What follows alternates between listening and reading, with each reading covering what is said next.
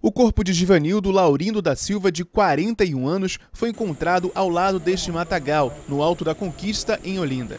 Ele foi morto com dois tiros, um na cabeça e outro no ombro. Ao lado do corpo, a perícia encontrou uma sacola com uma camisa, objetos pessoais e restos de comida. Além disso, uma corrente prateada com um pingente de São Jorge também foi achada no local do crime. Foi encontrada uma corrente de prata que estava é, quebrada. Né? Pode né, ser um indicativo que houve alguma luta antes, né? É, sendo latrocínio, talvez descartamos porque tá em uma, é, ele está com a carteira, tem uma quantia em dinheiro, um documento.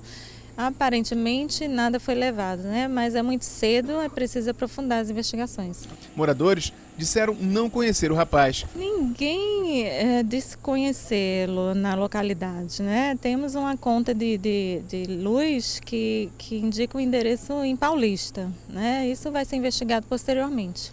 As marcas de tinta encontradas no corpo da vítima davam indício de que ele trabalhava na construção civil.